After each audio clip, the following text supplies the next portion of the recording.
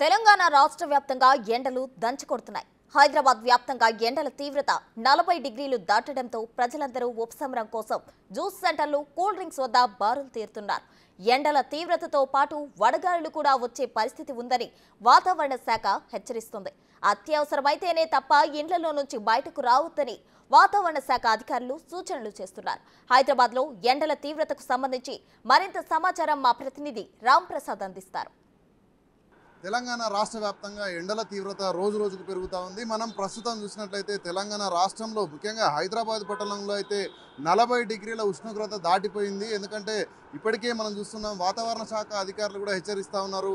ఇప్పుడు ఈ యొక్క మూడు రోజుల పాటు ఈ నెల ముప్పై ఒకటి అదేవిధంగా ఏప్రిల్ ఒకటి రెండు తేదీలలో అయితే భారీగా ఉష్ణోగ్రతలు నమోదవుతుందని చెప్తున్న నేపథ్యంలో అయితే ప్రస్తుతం మనం హైదరాబాద్లో ఉన్నటువంటి అమీర్పేటలో అయితే ఉన్నాం. ఇక్కడ చూడవచ్చు ఈ యొక్క ఎండల వేడి కారణంగా అయితే ప్రజలందరూ కూడా ఈ చల్లని ఏవైతే కూల్ డ్రింక్స్ అవన్నిటిని కూడా ఆశ్రయించే పరిస్థితి ఉంది. మనం చూడవచ్చు హైదరాబాద్ వ్యాప్తంగా కూడా అడుగడుగున ఈ యొక్క జ్యూస్ సెంటర్లను ఏర్పాటు చేశారు. ఎందుకంటే ప్రజలందరూ కూడా ఈ ఎండల తీవ్రత ఉష్ణోగ్రతలు ఎక్కువగా ఉన్న నేపథ్యంలో అయితే ఎక్కువ మంది కూడా ఈ చల్లటి డ్రింక్స్ని తీసుకోవడానికి ఇష్టపడుతూ ఉంటారు. ఈ యొక్క డ్రింక్స్ తీసుకున్న క్రమంలో అయితే కొంత ఎండ నుంచి ఉపశమనం పొందొచ్చు అనేటువంటి ఆలోచనతో అయితే ప్రజలందరూ కూడా మనం చూస్తున్నాం. ఇక్కడ విజువల్స్ ద్వారా కూడా చూడవచ్చు. అడుగడుగునా కూడా ఇటు జ్యూస్ పాయింట్లు కానీ ఇటు లెమన్ జ్యూస్తో పాటు ఇటు లస్సీ కేంద్రాలు కూడా ఏర్పాటు చేయడం రోడ్డుకి ఇరువైపులా అడుగడుగునా కూడా వీటిని ఇక్కడ నిర్వాహకులు అయితే పెట్టడం జరిగింది.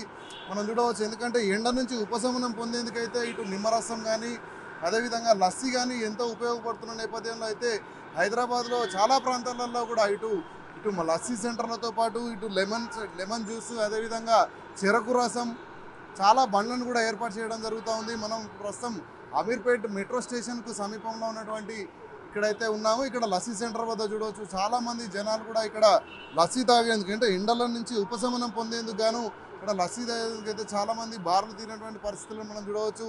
ఎందుకంటే ఈ ఎండల తీవ్రత కారణంగా ప్రజలకు ముఖ్యంగా ఎండలతో పాటు ఇటు వడగాల్పులు కూడా వచ్చేటువంటి ప్రమాదం ఉందని ఇప్పటికే వాతావరణ శాఖ హెచ్చరించిన నేపథ్యంలో అయితే ప్రజలందరూ కూడా ఎండ తాకిడికి గురవ్వకుండా అంటే ఇటు వడదెబ్బలు కూడా గురయ్యి కొంతమంది ప్రాణాలు కోల్పోయినటువంటి పరిస్థితులు కూడా మనం గత ఎండాకాలంలో కానీ గత సంవత్సరాలలో చూడడం జరిగింది. ముఖ్యంగా ఈ సంవత్సరం మట్టుకు ఎండల తీవ్రత గతంతో పోల్చుకుంటే చాలా ఎక్కువగా ఉంటుంది. ఇప్పటికే మనం చూసినట్లయితే రాష్ట్ర వ్యాప్తంగా కూడా అంటే ఎండల తీవ్రత ఎక్కువ ఉన్న కారణంగా ఇటు చెరువులు కానీ ఇటు ముఖ్యంగా డ్యామ్లలో ఉన్నటువంటి వాటర్ కూడా తగ్గిపోతా ఉన్న నేపథ్యంలో అయితే హైదరాబాద్లో ఎలాంటి సమస్యలు తలెత్తకుండా ఇప్పటికే రాష్ట్ర ముఖ్యమంత్రి రేవంత్ రెడ్డి కూడా అధికారులకు ప్రత్యేక ఆదేశాలు జారీ చేయడం జరిగింది. ఎందుకంటే ఇక్కడ నీటి కొరత ఉన్నట్లయితే ప్రజలు తీవ్ర ఇబ్బందులు పడుతున్న నేపథ్యంలో నీటి కొరత రాకుండా చూడాలని అదేవిధంగా విద్యుత్ సరఫరా కూడా నిరంతరాయంగా అంటే ఎలాంటి ఇబ్బందులు లేకుండా కూడా విద్యుత్ సరఫరా చేయాలని చెప్తా ఉన్నారు.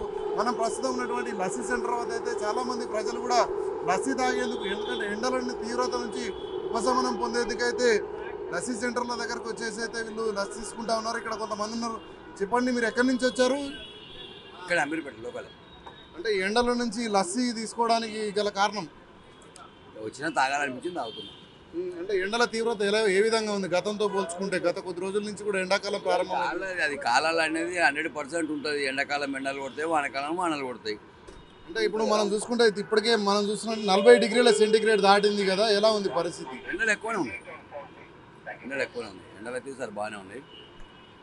ఎండలు రైట్ మనం చూసినట్లయితే అంటే గతంతో పోల్చుకుంటే ఇప్పటికి ఎండల తీవ్రత పెరగడం కారణంగానే ప్రజలందరూ కూడా ఎండల నుంచి ఉపశమనం పొందేందుకైతే ఇక్కడ లస్సీ సెంటర్ వద్దకు వచ్చేసి ఇక్కడ లస్సీ తాగుతున్నటువంటి విజువల్స్ అయితే మనం చూడవచ్చు. ఎందుకంటే ఇప్పటికే అధికారులు కూడా హెచ్చరిస్తూ ఉన్నారు. ఎండల వేడి ఎక్కువగా ఉన్న కారణంలో ఉదయం పది గంటలు దాటినంతరం అవసరం ఉంటే తప్ప బయటికి రావద్దని చెప్పేసి ఇప్పటికే వాతావరణ శాఖ అధికారులు హెచ్చరిస్తున్నారు. ఎందుకంటే ఎండల తీవ్రత కారణంతో పాటు అదేవిధంగా వడగాడుపులు కూడా ఇప్పుడు మార్చిలో పూర్తయ్యే సందర్భంలో అయితే వడగాల్పు కూడా ప్రారంభమైతే వడగాల్పుల వల్ల కూడా ప్రజలందరూ వడదెబ్బకు గురయ్యేటువంటి అవకాశం ఉంది. అంటే వడదెబ్బకు ఎలాంటి సింటమ్స్ ఉండకపోయినప్పటికీ కూడా గతంలో చాలామంది మృత్యువాత పడ్డటువంటి సందర్భాలు ఉన్నాయి కాబట్టి ఖచ్చితంగా ప్రజలందరూ కూడా ఎండ ఏదైతే ఉదయం పది గంటల నుంచి సాయంత్రం నాలుగు గంటల వరకు కూడా ఎండ తీవ్రత అనేది ఎక్కువగా ఉన్న నేపథ్యంలో ప్రజలందరూ అవసరమైతే మాత్రమే బయటికి రావాలని చెప్పేసి ఇప్పటికే వాతావరణ శాఖ అధికారులు కూడా సలహాలు సూచనలు చేస్తూ ఉన్నారు. అంతేకాకుండా ఎండల నుంచి ప్రజలందరూ కూడా ఉపశమనం పొందేందుకు ఎప్పటికప్పుడు నీళ్ళు తాగడంతో పాటు కొన్ని జ్యూస్లను కూడా తీసుకున్నట్లయితే